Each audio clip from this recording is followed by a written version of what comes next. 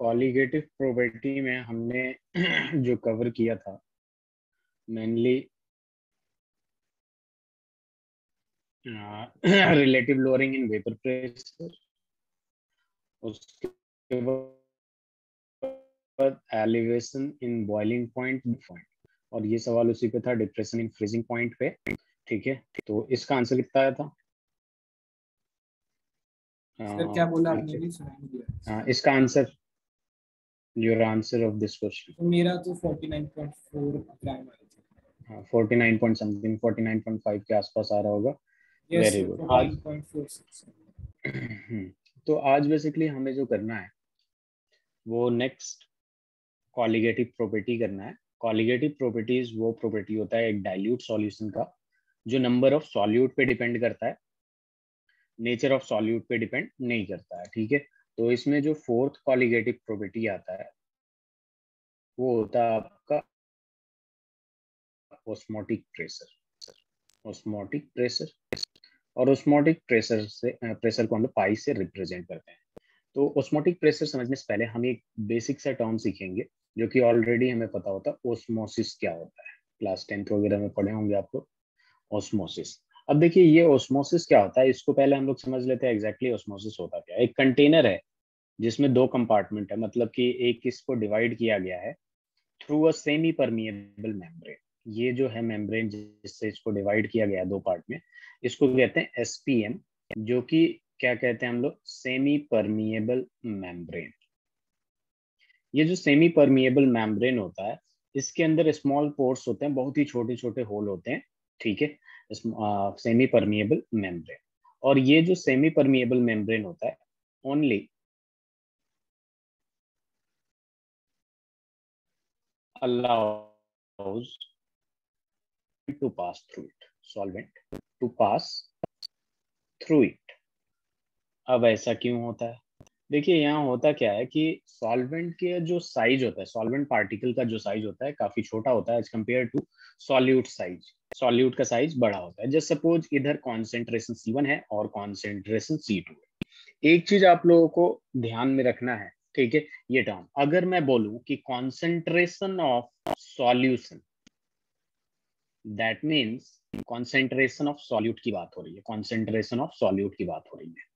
अगर जनरल बोला जाए कॉन्सेंट्रेशन ऑफ़ सॉल्यूशन इसका मतलब क्या होता है? कॉन्सेंट्रेशन ऑफ़ सॉल्यूट की बात हो रही है. अब यहाँ पे देखिए, यहाँ पे समझने वाली ये बात है कि ये सेमी परमिएबल मेम्ब्रेन है और इधर से बस सॉल्वेंट पास हो सकता है. और यहाँ पे लेट कर लेता हूँ मैं C1 greater than C2 that means concentration of concentration of solution of first left hand side container left part is greater than concentration of solution और concentration of solute greater than right one ठीक है? तो इससे ये तो ज़ाहिर सी बात है, तय है कि अगर कॉन्सेंट्रेशन ऑफ़ सॉल्यूट इधर ज़्यादा है तो सॉल्यूट इधर कम होगा और इधर सॉल्वेंट ज़्यादा होगा। कहने का मतलब ये है कि जिधर सॉल्यूट ज़्यादा होगा उधर सॉल्वेंट कम होगा। और जिधर सॉल्यूट कम होगा उधर सॉल्वेंट ज़्यादा होगा या नहीं?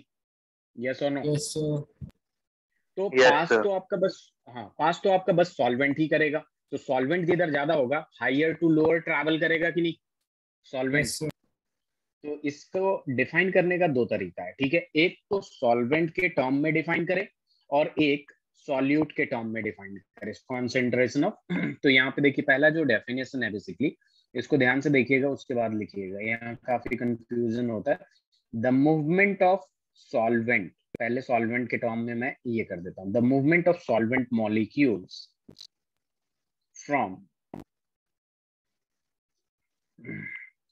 lower concentration of solution to higher concentration to higher concentration of solution through semi permeable membrane, through semi permeable membrane. तो देखिए, ज़ाहिर सी बात है, यहाँ पे क्या बोला है कि सॉल्वेंट मॉलिक्यूल का जो मूवमेंट होगा, वो कहाँ होगा?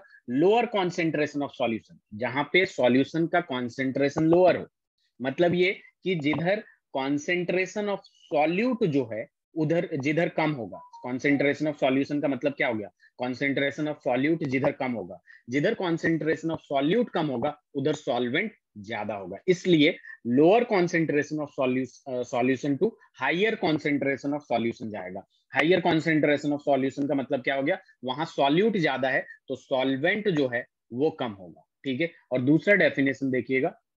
इससे और क्लियर हो जाएगा आप लोगों को कि दूसरा डेफिनेशन जो है बेसिकली दूसरा डेफिनेशन इस तरीके से डिफाइन कर सकते हैं हम लोग। The movement of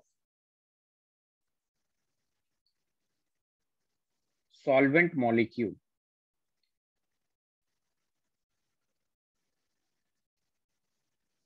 from their higher concentration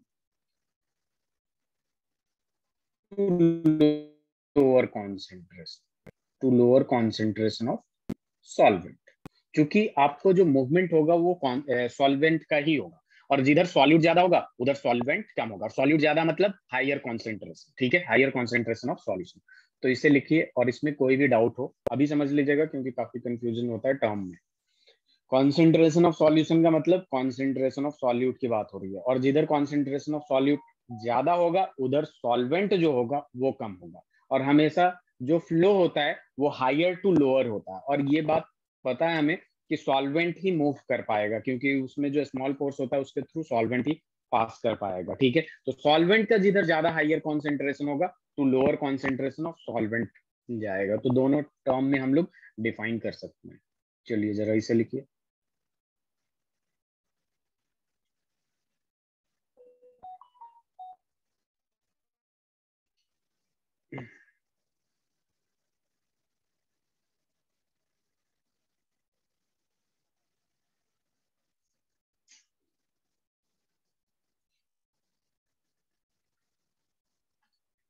Hmm.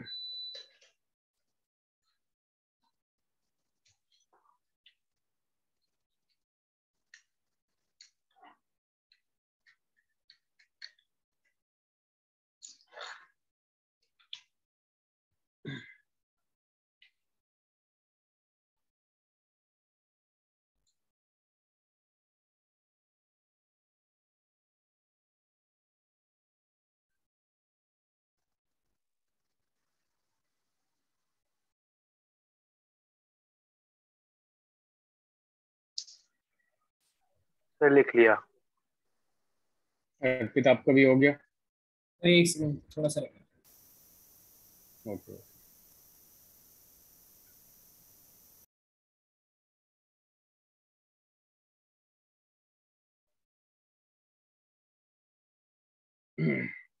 आज हमें बहुत सारे क्वेश्चंस करने हैं। नेक्स्ट क्लास में ये चैप्टर कंप्लीट हो जाएगा। फिर नेक्स्ट हम इलेक्ट्रोकेमिस्ट्री स्टार्ट करेंगे फिर ऑर्गेनिक हम्म, जो भी आप लोगों का पेपर होगा जिस हिसाब से। कौन सा यूनिट टेस्ट में क्या आ रहा है? सर अभी तो पता नहीं सर अभी ऑर्गेनिक चल रहा है अच्छा ऑर्गेनिक और आपके यहाँ अर्पित? इलेक्ट्रोकेमिस्ट्री मेराज आप किस स्कूल में सर मैं मदर्स इंटरनेशनल स्कूल में से दिल्ली ओके अर्पित सर मैं आर्मी स्कूल में सर चंडीगढ़ में।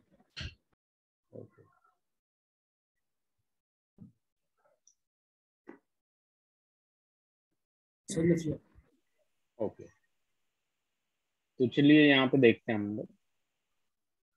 अब ओस्मोटिक प्रेशर की बात करते हैं। देखिए ओस्मोटिक प्रेशर को समझने से पहले एक चीज़ पता हो जाना चाहिए कि सॉल्वेंट जिधर ज़्यादा होगा, उधर से lower concentration of solvent side flow होगा। यहाँ पे जो है आपका एक रिप्रेजेंटेशन एक डायग्राम बनाता हूँ मैं। तो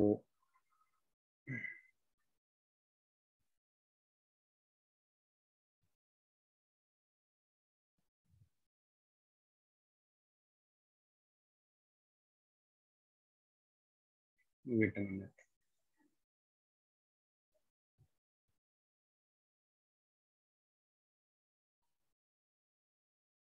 ऊपर वाला ही गलत बना दिया रुक जाइएगा जरा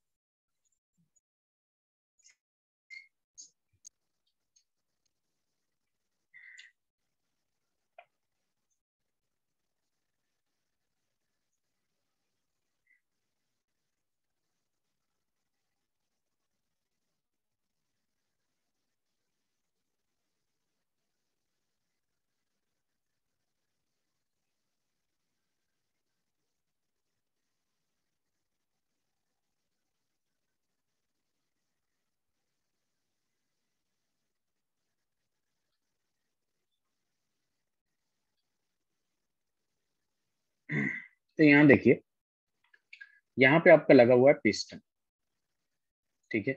और ये दो पार्ट में यहाँ से डिवाइडेड है, जो कि ये जो है आपका सेमी परमिएबल मेम्ब्रेन है एस इधर जो है आपका प्योर सॉल्वेंट है प्योर सॉल्वेंट है, और इधर है जो आपका सॉल्यूशन है। सॉल्यूशन का मतलब सॉल्यूट प्लस सॉल्वेंट और यहाँ पे लग रहा आपका पीएटीएम एटमॉस्फेरिक प्रेशर इधर से लग रहा है। सवाल ये है कि किधर से किधर मूवमेंट होना चाहिए इतना तो तय है कि सेमी परमिएबल मेम्ब्रेन है तो इसके थ्रू ओनली सॉल्वेंट पास होगा और सॉल्वेंट किधर से किधर जाएगा? जहाँ हायर कॉन्सेंट्रेशन होगा सॉल्वेंट से सॉल्वेंट का उधर से lower concentration of solvent move करेगा। तो सवाल ये है लेफ़्ट टू राइट जाएगा या राइट टू लेफ़्ट मूवमेंट होगा? बताइए जरा। सॉल्वेंट का राइट मूवमेंट होगी या फिर right to left right to left होना sir solvent right to left होगा क्यों? क्योंकि इधर प्योर सॉल्वेंट है सॉल्वेंट ही सॉल्वेंट है और यहाँ सॉल्यूशन है। That means solute plus solvent है। तो ज़ाहिर सी बात है यहाँ प्योर सॉल्वेंट है तो यहाँ पे कॉन्सेंट्रेशन सॉल्वेंट का ज़्यादा होगा तो राइट टू लेफ़्ट जाएगा। Is that clear Arpit yes sir Mehraj तो अब देखिए Yes, क्या होगा कि वेरी गुड अब देखिए यहाँ से इधर मूवमेंट शुरू होगा। अब इस मूवमेंट को रोकने के लिए जितना प्रेशर यहाँ लगाएँगे आप the extra pressure that is applied to stop the movement और स्टॉप द ओस्मोसिस इस प्रोसेस ओस्मोसिस को रोकने के लिए या मूवमेंट को रोकने के लिए राइट टू लेफ़्ट ना राइट टू लेफ़्ट जाए ना लेफ़्ट टू राइट जाए इसी एक्स्ट्रा प्रेशर को हम लोग कहते हैं osmotic pressure is that clear yes sir yes sir अब देखिए यहाँ पे क्या होगा? हो सकता है आपने ओस्मोटिक प्रेशर वो प्रेशर है जो कि इस मूवमेंट को रोक दे। अगर उससे ज़्यादा आपने प्रेशर अप्लाई कर दिया तो क्या ये मूवमेंट अपोजिट डायरेक्शन में जाने लगेगा? अगर प्रेशर ज़्यादा लगा दिया तो ये थोड़ी देखेगा कि उधर हाइयर है इधर लोअर है वो तो जाने लगेगा। Yes sir opposite direction opposite direction में जाने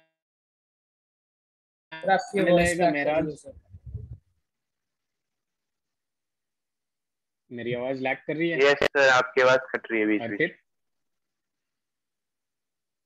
अच्छा चलिए। जरा ये बताइए कि अगर इससे इस पे बहुत ज़्यादा प्रेशर लगा दिया आपने तो क्या ये मूवमेंट लेफ़्ट टू राइट जाने लगेगा या नहीं? यस और no yes sir yes sir तो इस जब ये मूवमेंट अपोजिट हो जाता है, उसे कहते हैं हम लोग रिवर्स ऑस्मोसिस जो कि वाटर प्यूरिफायर में यूज़ होता है रिवर्स ऑस्मोसिस वो वाला, ठीक है? तो मैं फ़िलहाल अभी ऑस्मोटिक प्रेशर को डिफाइन करने जा रहा हूँ।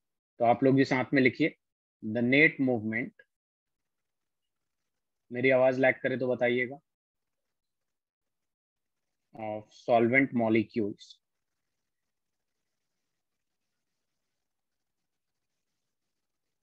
from solvent to solution side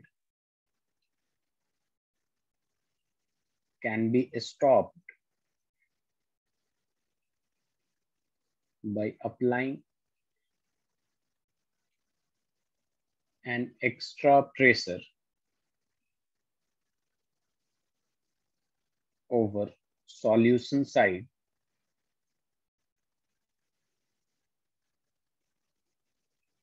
which stops osmosis is called osmotic pressure and denoted by pi.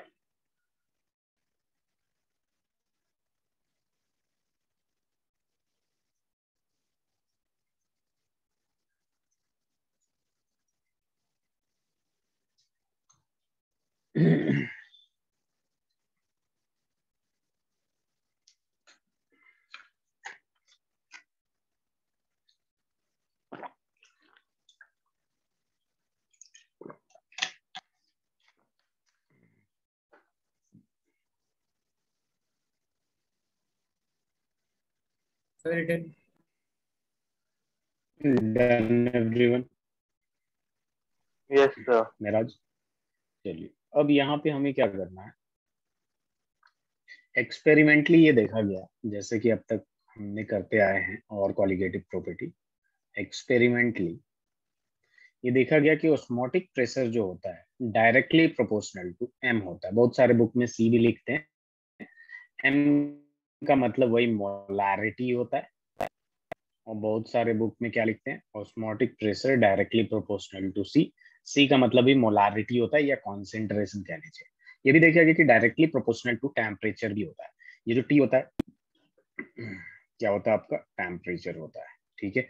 तो इन दोनों को मिलाया हमने तो डायरेक्टली प्रोपोर्शनल टू एमटी हो गया। और इस प्रोपोर्शनलिटी साइन को हटाएँगे तो अपने पास आता है गैस कॉन्स्टेंट आर जिसका वैल्यू क्या आता है? Zero point zero eight two one तो pi is equal to C R T के नाम से भी जाना जाता है या फिर एम आर टी के नाम से एम आर टी या फिर आर टी यस सर ये टेम्परेचर डिपेंडेंट कैसे है? टेम्परेचर डिपेंडेंट कैसे है? टेम्परेचर अगर हाई करते हैं तो डायरेक्टली प्रोपोर्शनल जैसे मान लीजिए आपने pressure directly proportional to temperature Gay Lussac's law में पढ़ा था। Yes.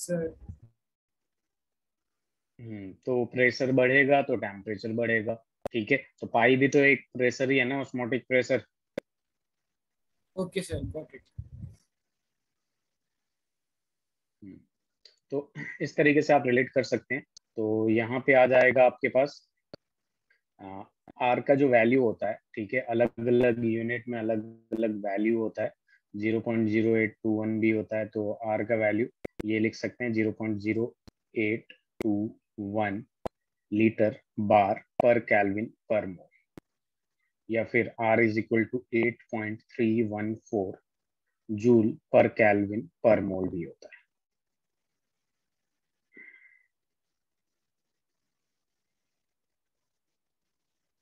और इसमें ज़्यादा डिफरेंस नहीं होता एटीएम में भी ले सकते हैं, इसको एटीएम में कन्वर्ट कर लीजिए।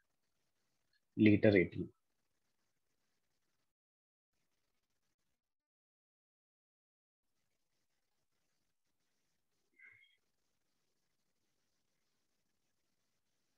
तो इस पे भी अच्छे खासे क्वेश्चन बनते हैं। फ़िलहाल आज तो हमें इस पूरे चैप्टर पे जितना भी क्वेश्चन है वो सारा कवर करना है।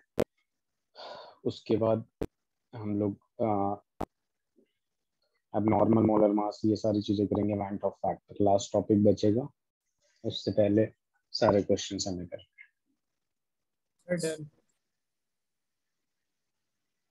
done everyone Mehraj yes sir very good उससे पहले मैं यहाँ पे रिवर्स ऑस्मोसिस का भी डेफिनेशन लिखवा देता हूँ। ये लिख लीजिएगा। If pressure is more than osmotic pressure osmotic pressure तो बस ऑस्मोसिस को रोकता ही है। If pressure is more than osmotic pressure then solvent flows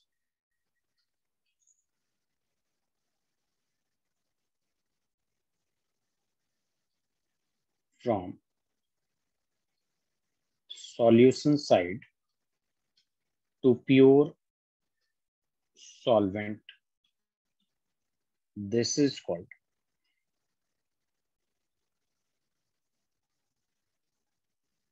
reverse osmosis this is called reverse osmosis इसको रिवर्स ऑस्मोसिस कहते हैं। अब यहाँ पे सवाल है एक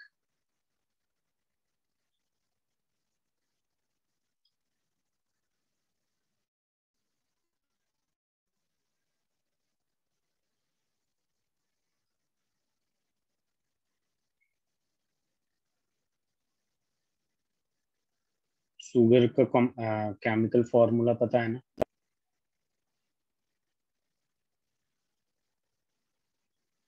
तो ये होता है आपका C twelve H twenty two O eleven ये शुगर का केमिकल फॉर्मूला होता है।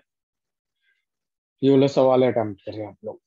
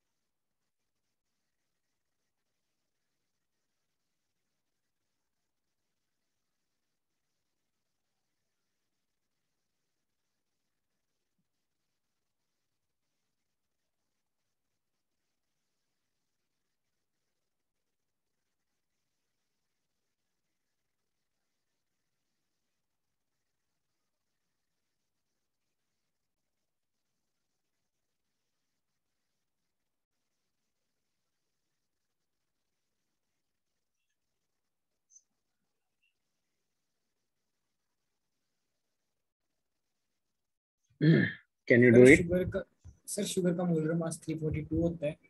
यस 342 इसे कैलकुलेट किया होगा आपने तो ये मिला होगा होगा सर। 342 ग्राम पर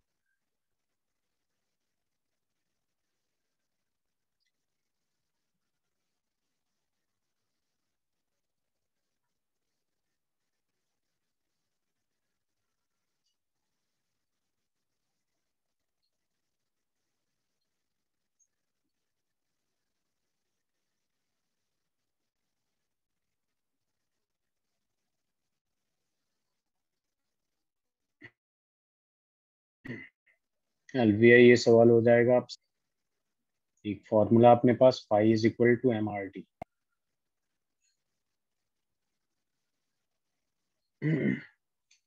इस चैप्टर में कॉन्सेंट्रेशन टर्म काफ़ी इंपॉर्टेंट है।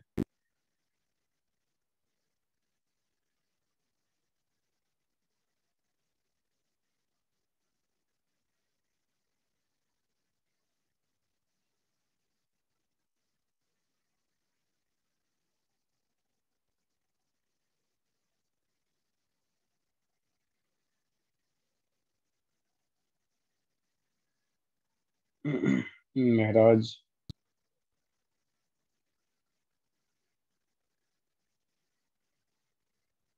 any answer anyone?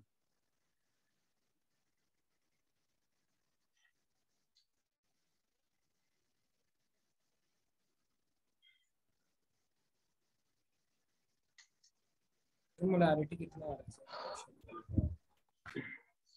मोलारिटी चलिए मैं बताता हूँ। अपने को कैलकुलेट ऑस्मोटिक प्रेशर ही निकालना, ठीक है?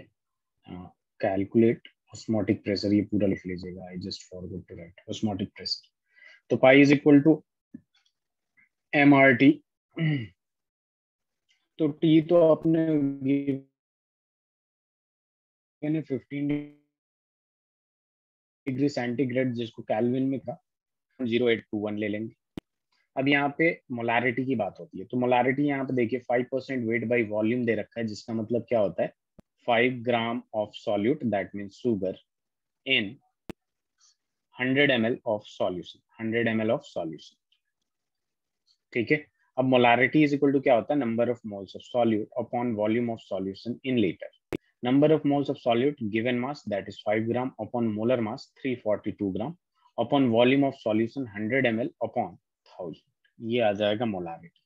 अब जैसे इसे थोड़ा सा सॉल्व कर लेंगे 5 अपॉन 342 इनटू 1000 अपॉन 100 अब बस इसे थोड़ा सा कैंसिल कर लीजिए। 20 will be cancelled by 20 and then it will be 50 upon 342 ये मोलारिटी आ गई। अब बस वैल्यू रख देंगे। तो वैल्यू रखने चलिए जरा। यहाँ पे अगर वैल्यू रखते हैं pi is equal to M का वैल्यू कितना आया? 50 अपॉन थ्री फोर्टी टू और ये कितना आ जाएगा? 0.0821 एंड टेम्परेचर इज़ 288 इसको सॉल्व कर लीजिएगा एटीएम में आंसर आ जाएगा। कर सकते हैं? सर हमें आर की वैल्यू कौन सी लेनी होती है जनरली एटीएम के लिए जनरली हम 0.081 ही लेते हैं ठीक है क्योंकि 8.314 जो है वो जूल में दे देता है। तो जनरली हम 0.081 लेंगे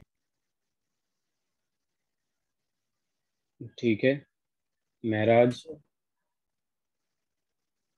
Alviya.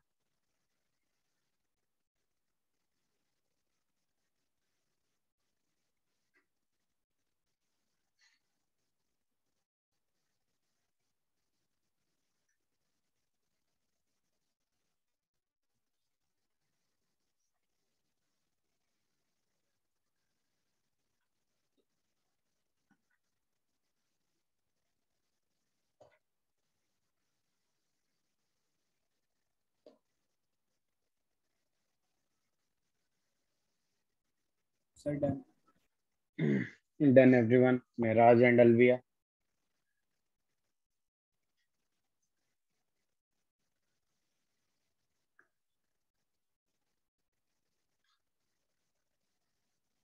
चलिए नेक्स्ट क्वेश्चन करते हैं हम लोग.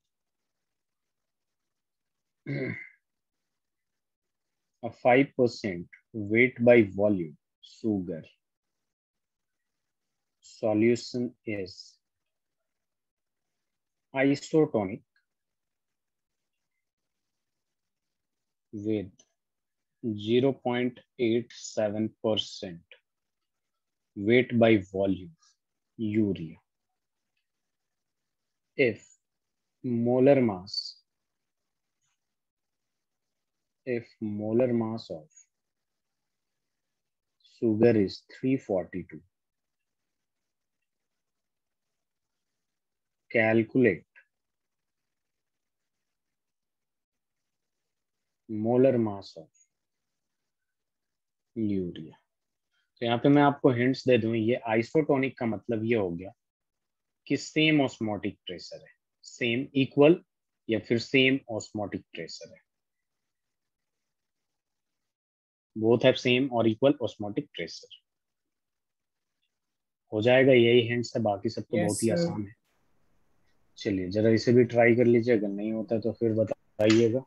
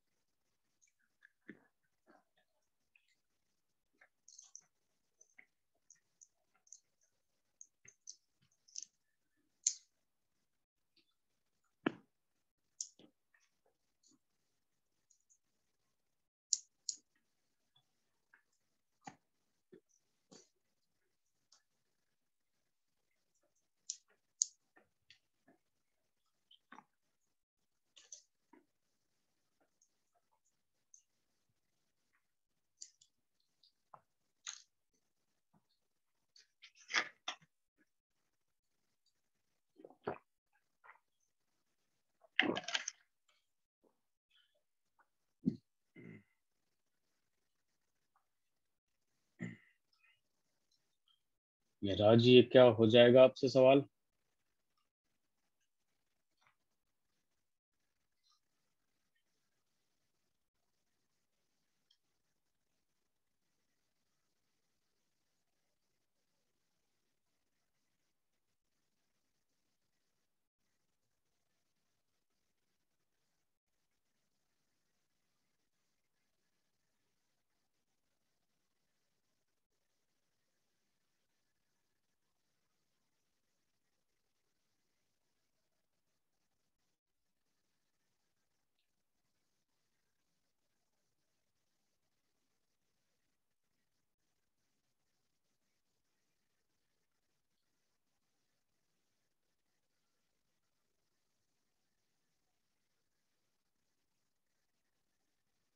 अर्पित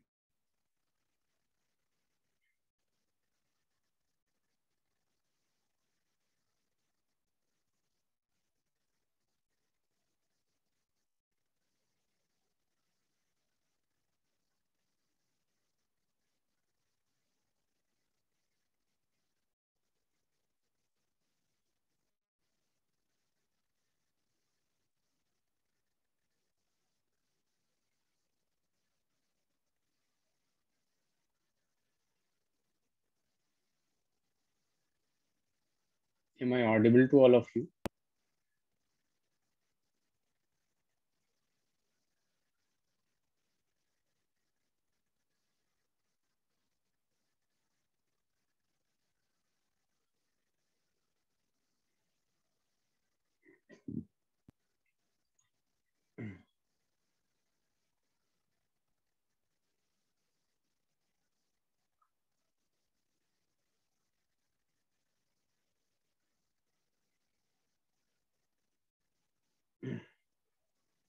मेराज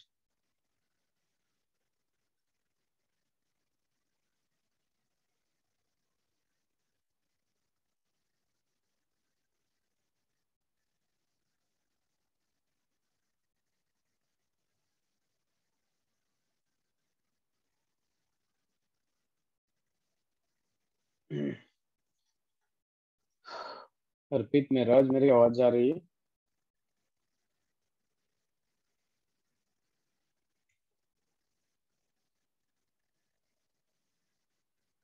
ओके तो चैट बॉक्स में रिप्लाई कर दिया करिए प्लीज़ थैंक यू अर्पित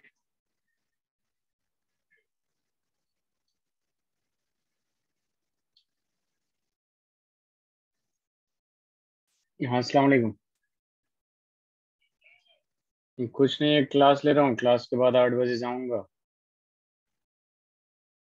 हाँ तो पैसे लेके जाऊँ। हाँ आज पाँच बजे, ठीक।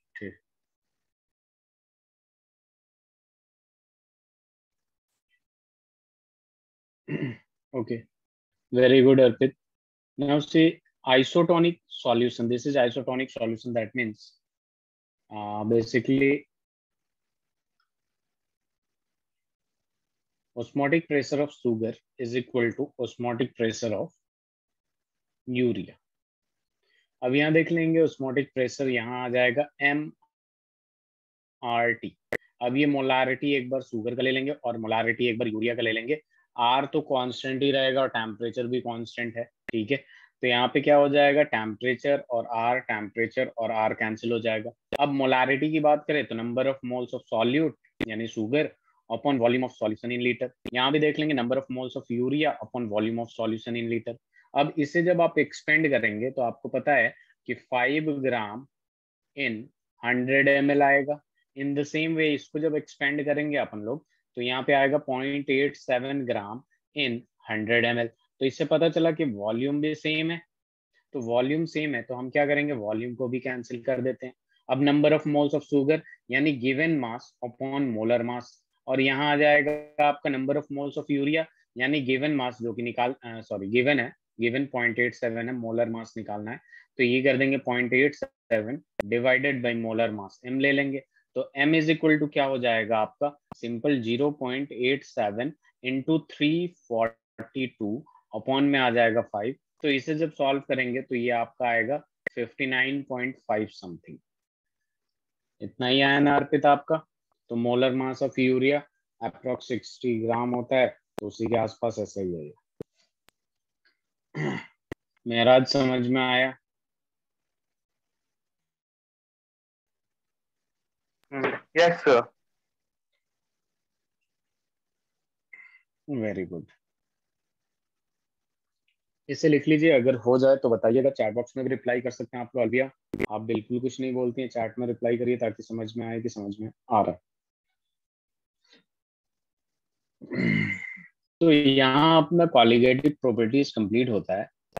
अब हमें जो करना है हमें बस चूँकि फ़िज़िकल केमिस्ट्री में काफ़ी ज़्यादा क्वेश्चंस प्रैक्टिस करने की ज़रूरत होती है तो अभी हम लोग बस क्वेश्चन प्रैक्टिस करेंगे। अगर ये हो गया हो तो बताइए मैं आगे बढ़ू। चैट में रिप्लाई कर दीजिए आप लोग अगर आप लोग सर हो गया। हाँ आप लोगों की माइक में कुछ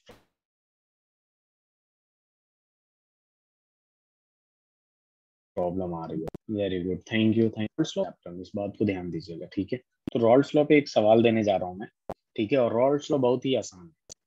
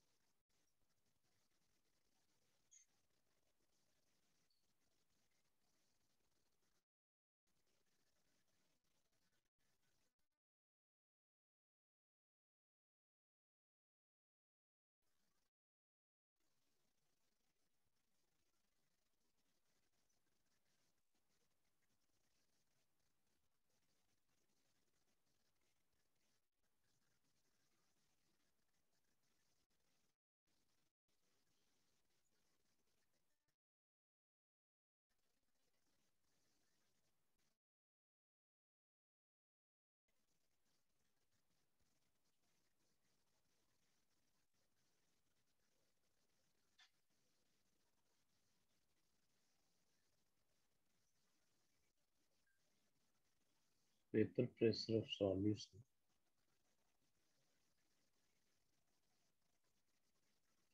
Obtained by mixing.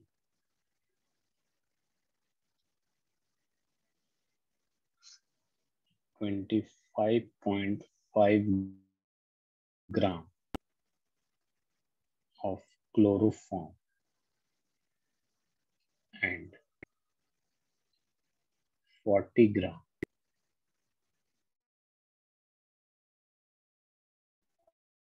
of CH2CL. Sir आप इससे ऊपर आपने कौन सा क्वेश्चन कराया सर मैंने नेटवर्क इशू है इसमें बाहर Uh, wait a minute.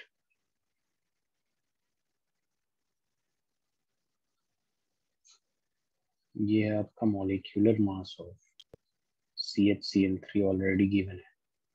119.5 U and molecular mass of CH2Cl2 is equal to 85 U. Option भी दे देता हूँ। अर्पित, मैं अभी बताता हूँ आपको पिछला क्वेश्चन क्या कराया था 173.9 mmHg B 615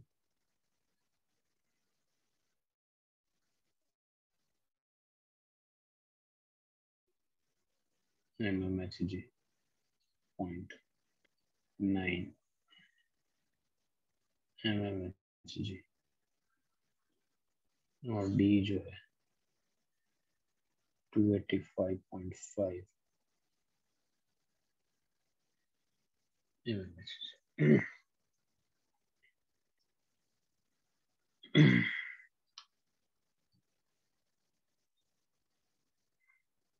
ये सवाल है पहले ये सवाल लिख लीजिए। पुराना वाला क्वेश्चन मैं आपके आपको दिखा दूँगा अभी पहले ये कर लीजिए।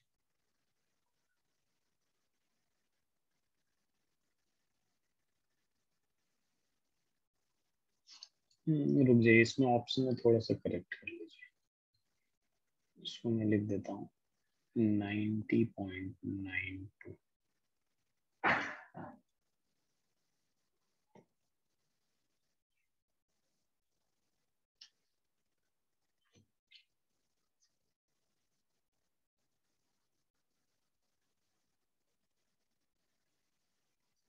ये क्वेश्चन हो जाए तो बताइएगा महराज Arpit and Alviya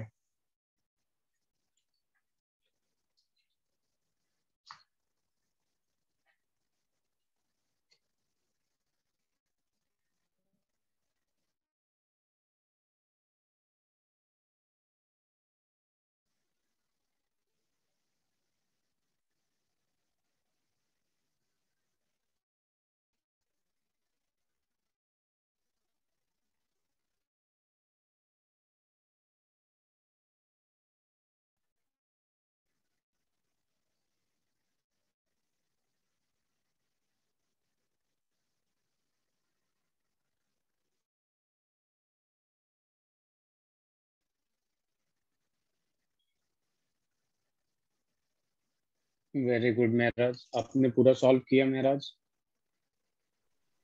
yes sir. Okay Arpit?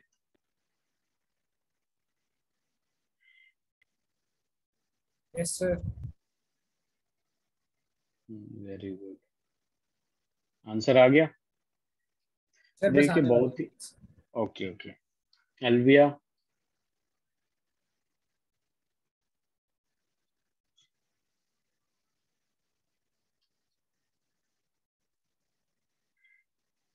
ये आपके नीट का सवाल था जो काफ़ी आसान है।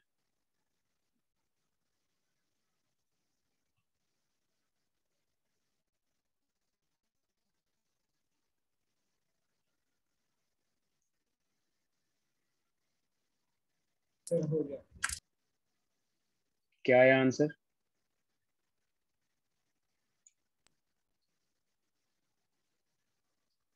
repeat your answer.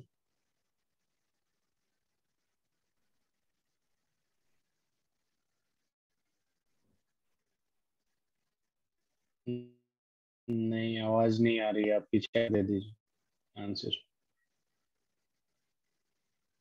ये उससे पहले वाला सवाल था, अर्पित टेक स्क्रीनशॉट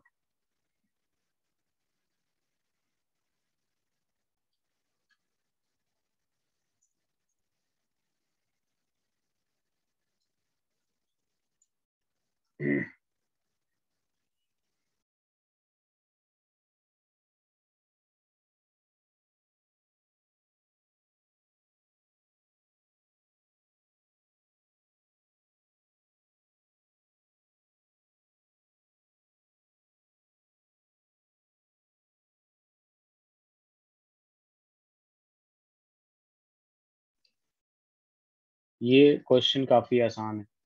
हमें टोटल प्रेशर पूछा है। तो टोटल प्रेशर का तो फॉर्मूला अपने को पता है ना? कि P T is equal to क्या हो जाएगा? यहाँ पे क्या क्या मिक्स किया गया है? प्रेशर ऑफ़ ले लीजिए A plus pressure of B तो यहाँ पे क्या आ जाएगा? Pure pressure of A into mole fraction of A pure pressure of B into mole fraction of B ठीक है? Very good Arpit. तो यहाँ पी नॉट ए मतलब इसको मैंने ले लिया C H C L three वाला और ये ले लिया मैंने C H two C L two वाला। तो सिंपल है, आप लोग आंसर ला चुके हैं तो बहुत ही अच्छी बात है। फिर मोल फ्रैक्शन निकाल लेंगे एक बार इसका और एक बार इसका और इजिली क्वेश्चन हो जाएगा, ठीक है? चलिए। अब नेक्स्ट क्वेश्चन करते हैं हम लोग। क्वेश्चन जो है, लिखिए जरा। The vapour pressure of two liquids.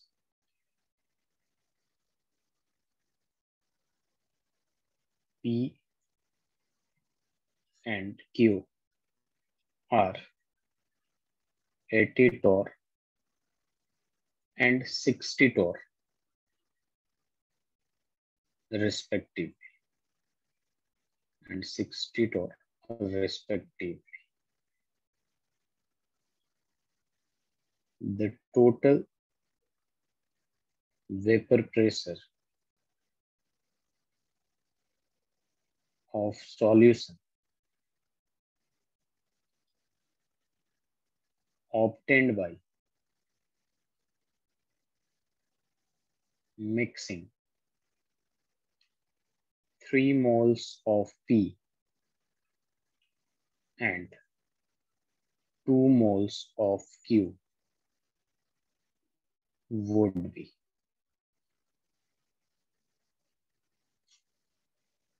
Option दे देता हूँ मैं आप लोगों को।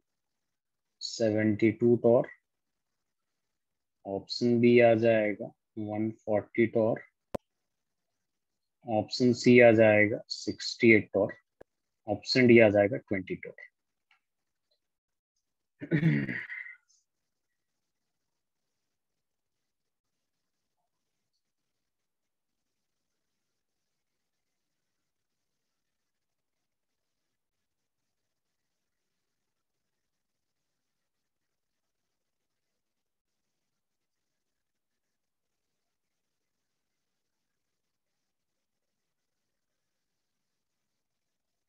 ये तो हमने रॉल्स लॉ के सवाल दो दिए आप लोगों को। इसके बाद हम लोग क्वालिटेटिव प्रॉपर्टीज़ भी सवाल करेंगे।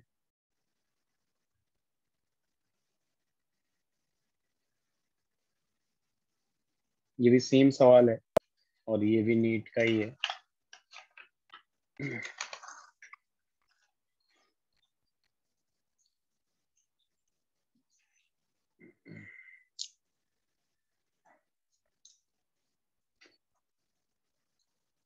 ये क्वेश्चन अटेम्प्ट करिए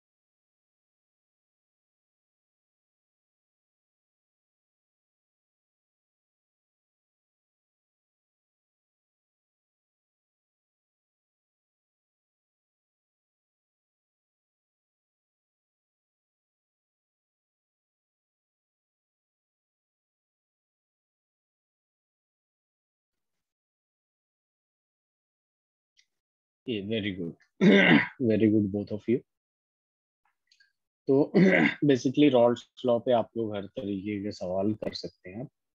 नाउ आंसर इज़ ए ठीक है, यहाँ भी वही अप्लाई करना है। P total is equal to pressure of P plus pressure of Q और फिर वापस से लगा देंगे। P nought P zeta P plus P nought Q zeta P zeta Q और इजिली हो जाएगा। नेक्स्ट सवाल देखिए। जो नेक्स्ट सवाल है अपना वो है फ्रीजिंग पॉइंट पे।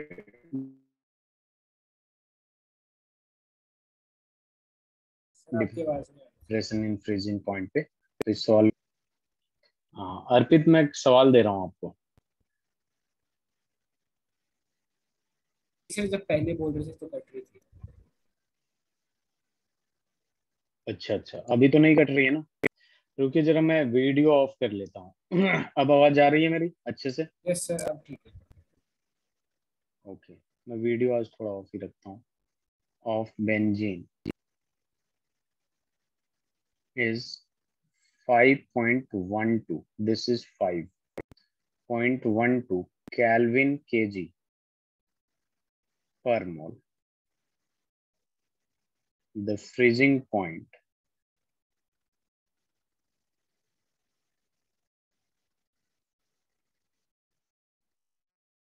Depression. For the solution. For the solution of molality is 0.078 m. Containing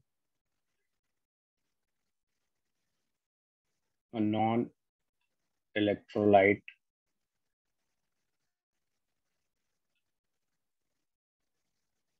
solute in benzene is option भी दे देता हूँ zero point eight zero kelvin option B जो है zero point four zero kelvin option C है zero point six zero kelvin Option D is 0.20. This is your question.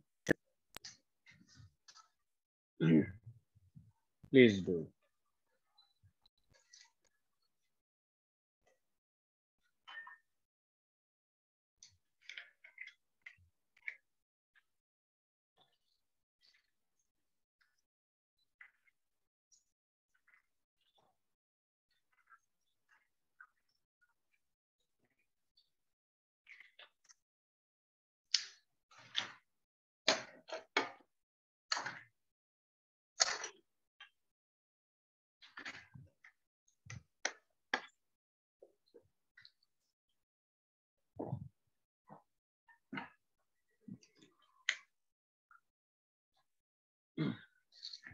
Arpit ये सवाल हो जाएगा।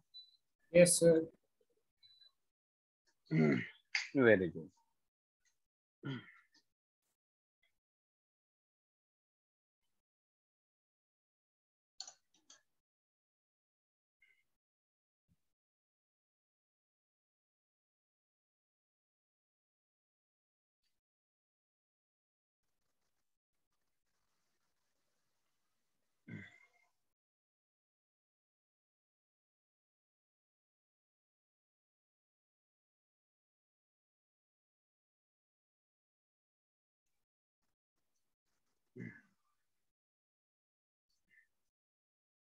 Very good, Arpit.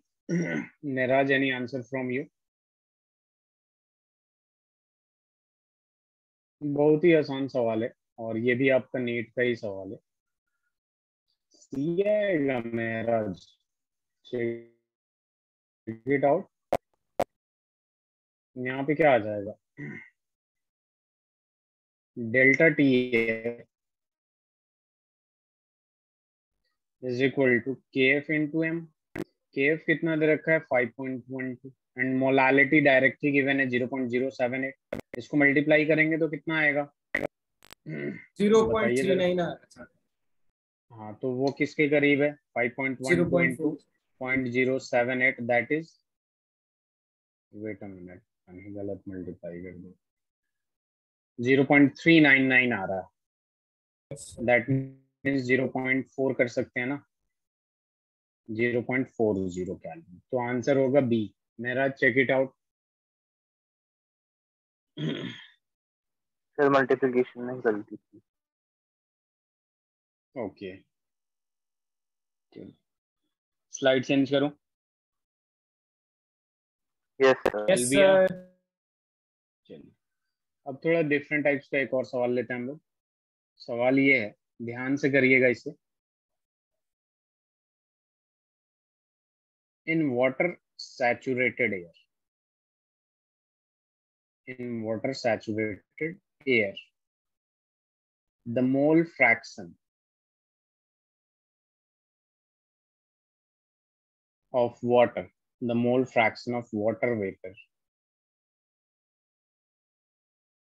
is 0.02 water vapour का जो mole fraction है, वो 0.02 if the total pressure if the total pressure of the saturated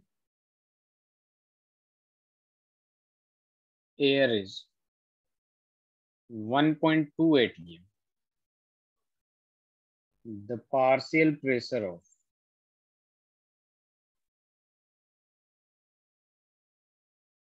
dry air is the partial pressure of dry air is. Partial pressure निकालिए जरा। यहाँ mole fraction दे रखा है वाटर वेपर इसमें पार्शियल प्रेशर ड्राई एयर का निकालना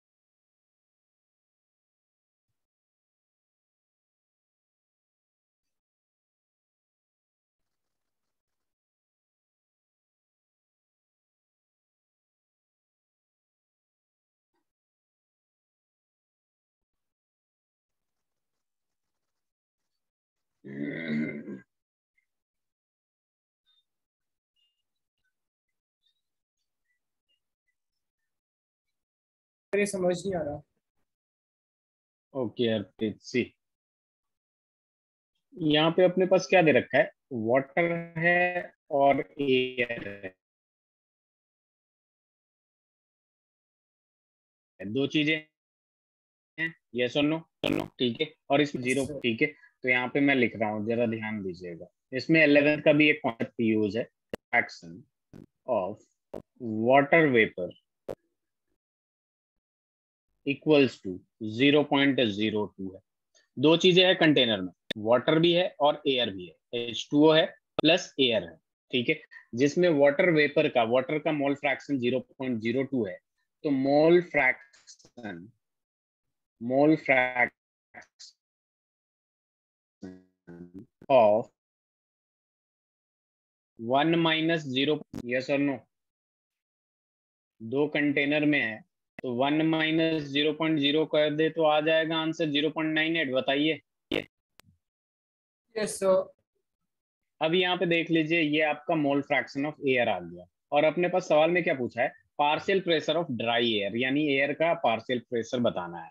तो आपने डेल्टन लॉ पढ़ा है? डेल्टन्स लॉ से तो एक इस चैप्टर में ये यूज़ होता है कि total pressure is equal to sum of all individual partial pressure और डेल्टन्स लॉ का जो मेन लॉ था, वो ये भी बोलता है कि partial pressure is equal to total pressure into mole fraction of that gas will be equal to partial pressure ये आप लोगों ने पढ़ा है? याद आया? अर्पित? गैसियस मैटर तो यहाँ पे पार्शियल प्रेशर अपने को क्या निकालना है? एयर को निकालना है तो partial pressure of air is equal to total pressure into mole fraction of air so basically यहाँ पे टोटल प्रेशर जो है, वो कितना है?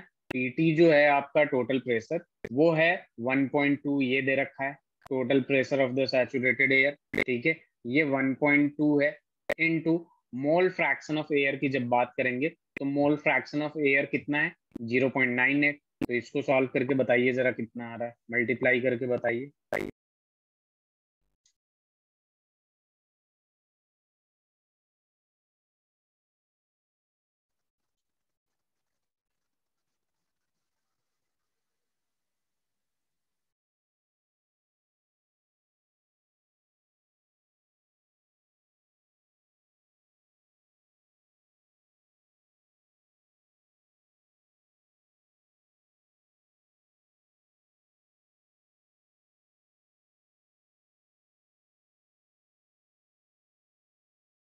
सेवन 1.76 आ रहा है या 1.17 one seven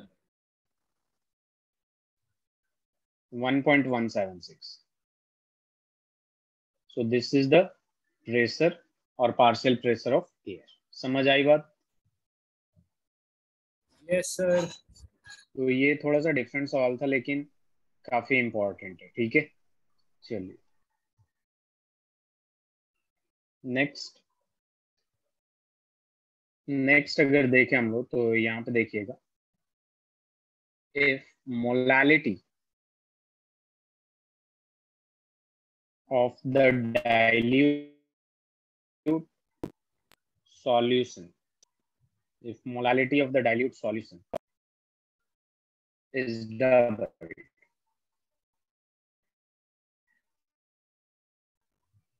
the value of molar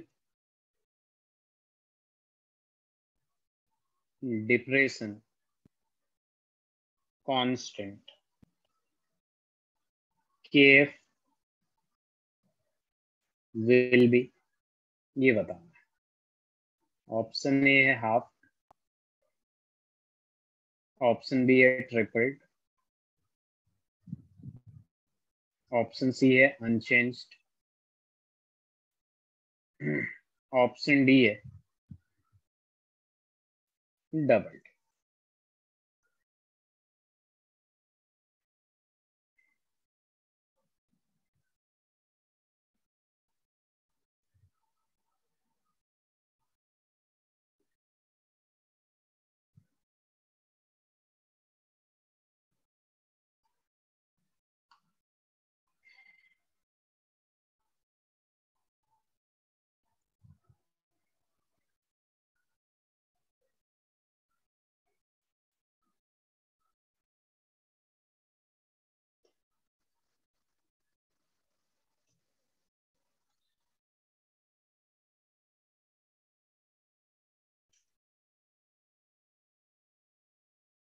not A. It's wrong. See, KF, I have written that this depends upon solvent. This depends upon solvent. If molality of dilute solution is doubled, molality is doubled, the value of molar depression constant, it will be unchanged because it depends upon the nature of solvent. Okay. Yes sir So please write it. Uh, it depends on nature of solvent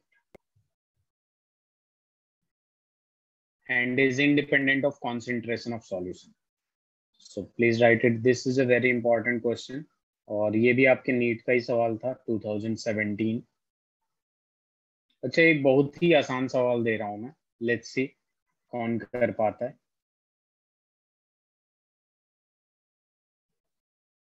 Which of the following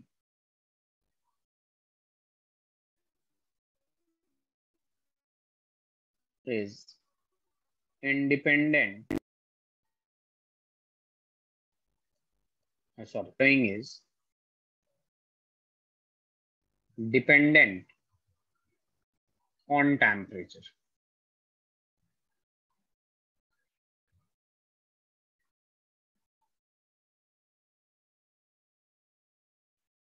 Option A molarity.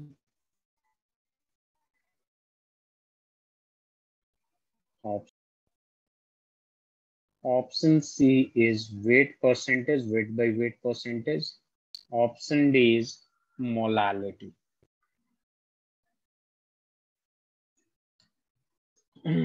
this is a very good question and very easy question. Let me know the answer, Arpit.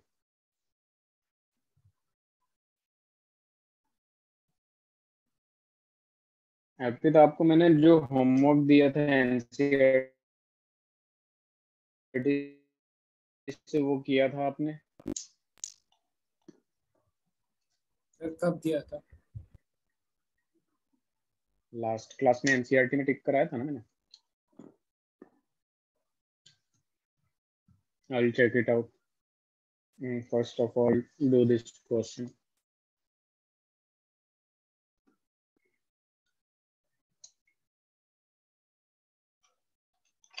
Sir हो गया। कौन सा answer sir molarity molarity क्यों? क्योंकि molarity is equal to क्या आएगा देखिए temperature की बात कर रहा है और volume directly proportional to temperature होता है। तो यही एक ऐसा कॉन्सेंट्रेशन टर्म है जिसमें वॉल्यूम आ रहा है इसलिए ये इससे डिपेंडेंट होता है। मोल फ्रैक्शन में तो नंबर ऑफ़ मोल्स आता है वेट बाई वेट परसेंट में वेट आता है। मोलालिटी में भी वेट आता है इस वजह से आंसर क्या होगा? ए होगा। Very good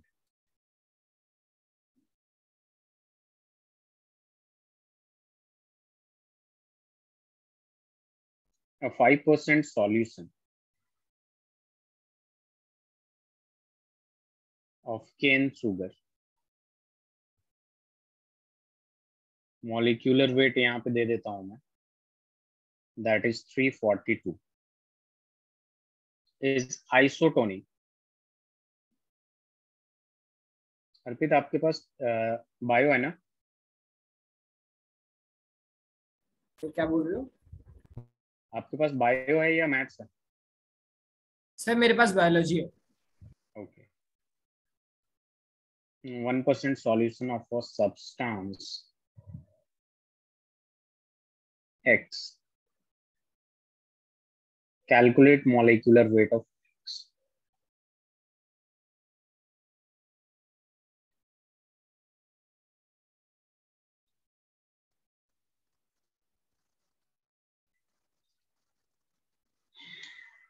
calculate molecular weight of x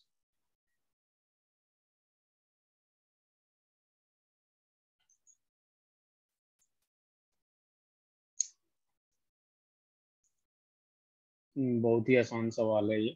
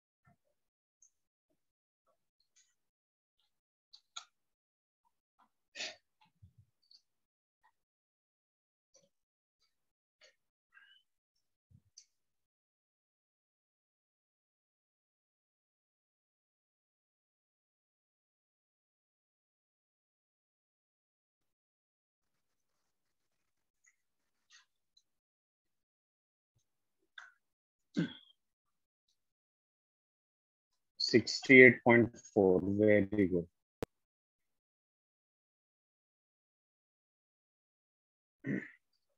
तो ये सारे सवाल तो आपसे हो जा रहे हैं।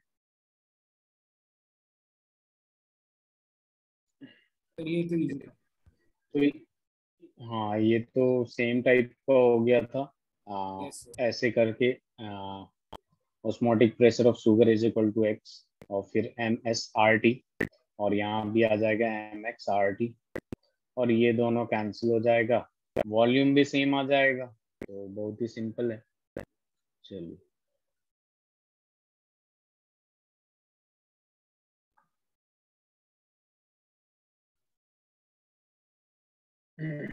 एक मिनट रुक जाइएगा। चलो। अब देखिए यहाँ पे हम्म, ये सारे सवाल तो हो गए।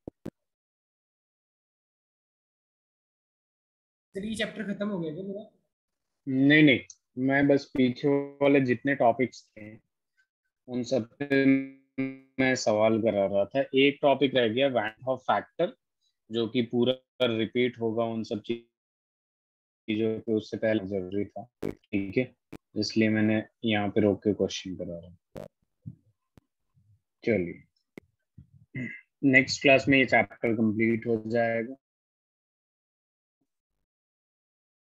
तो फिर मुझे आज होमवर्क देना है पूरा NCR the way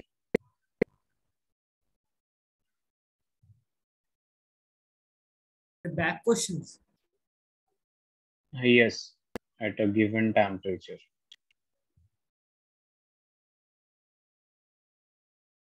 of an ideal solution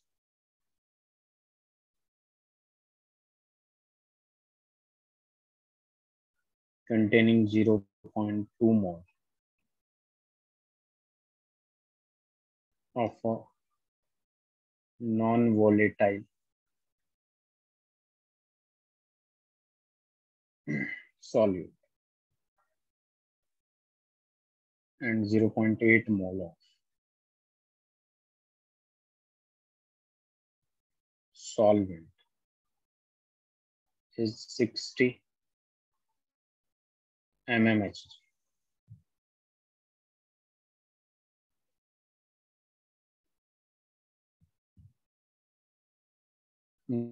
The vapor pressure of pure solvent at the same temperature.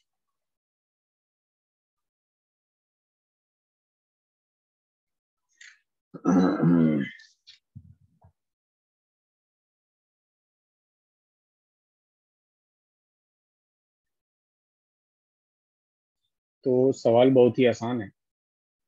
ध्यान दीजिए थोड़ा सा कोशिश करिए, नहीं होगा तो मैं हूँ।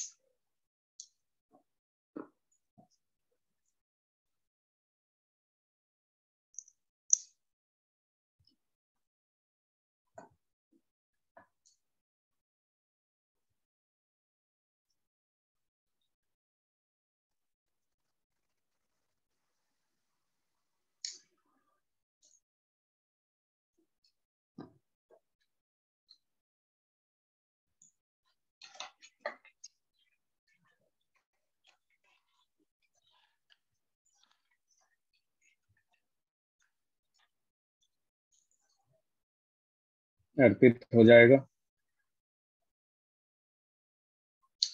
यस सर बस आने वाला है।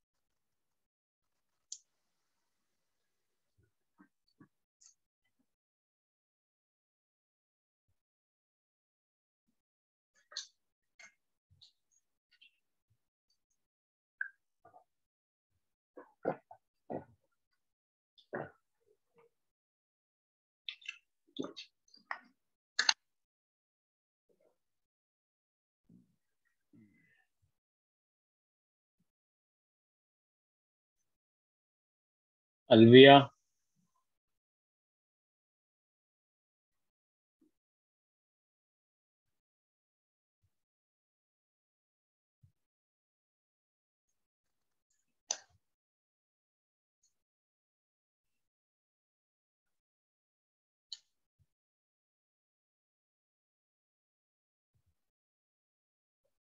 Very good Arpit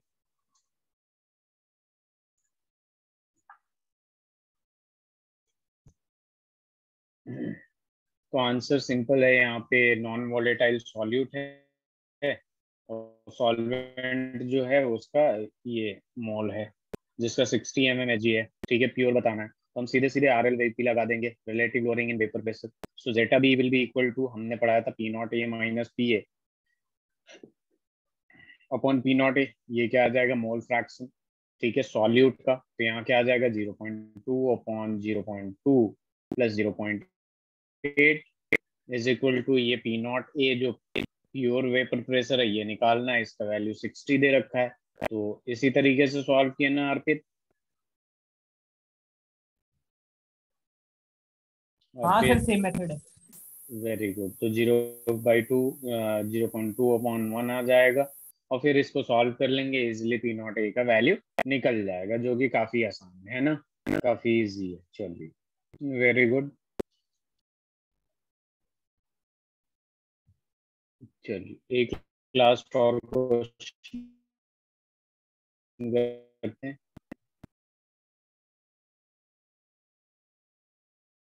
At 100 degrees the vapor pressure.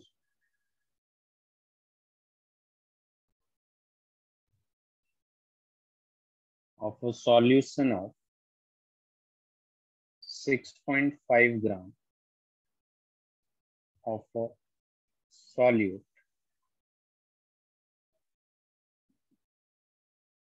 In 100 gram water. Is 732 mm if kb equals to 0.52 the boiling point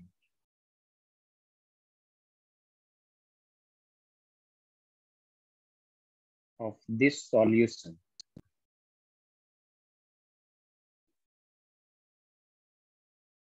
will be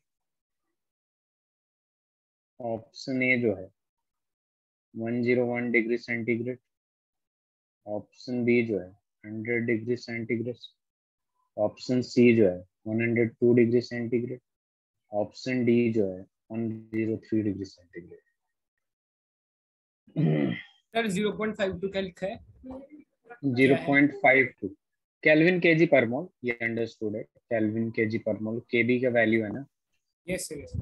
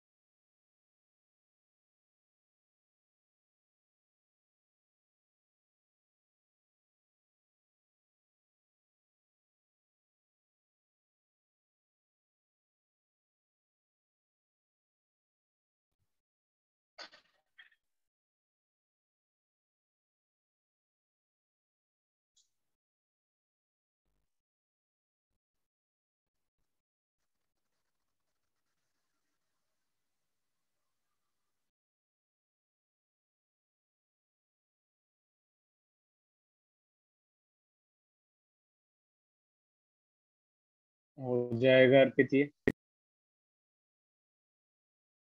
sir कर रहा हूँ।